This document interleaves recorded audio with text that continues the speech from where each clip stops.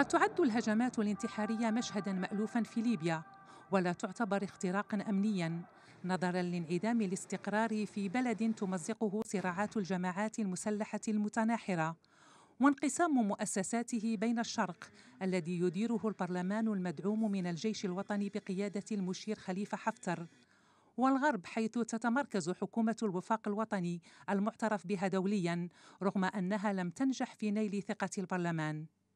غير أن تفجير مقر المفوضية الوطنية العليا للانتخابات في العاصمة طرابلس الذي أوقع قتل وجرحى يبعث برسائل عدة.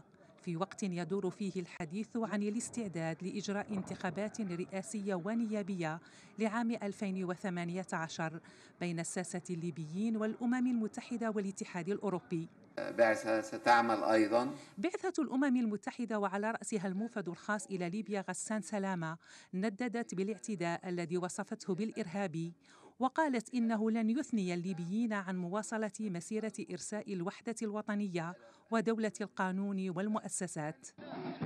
أما الجيش الليبي بقيادة حفتر فاعتبر استهداف مفوضية الانتخابات محاولة يائسة من الإرهابيين لتعطيل المسار الديمقراطي في ليبيا وشدد على أنه لن يتوقف عن محاربة الإرهاب.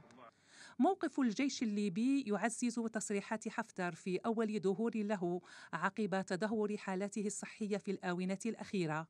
تصريحات تعهد فيها حفتر بالقضاء على الجماعات الإرهابية ومساعدة الليبيين في اجتياز مرحلة الجمود السياسي الذي يخيم على البلاد منذ الإطاحة بنظام معمر القذافي.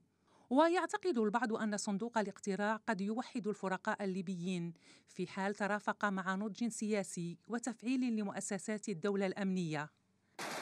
في المقابل يرى بعضهم أن الانتخابات ستزيد ليبيا تصدعا في حال رفض نتائجها وسط الانفلات الأمني ونفوذ المجموعات المسلحة بينها تنظيما داعش والقاعدة. فهم يرون أن نتيجة أي انتخابات في ظل هذه الأجواء السائدة في ليبيا قد تؤدي إلى مواجهة مسلحة شاملة. مخاوف يدركها المجتمع الدولي الساعي إلى إجراء انتخابات في أسرع وقت ممكن لإنهاء حالة الاحتقان السياسي أمام انحسار قائمة الخيارات الأخرى.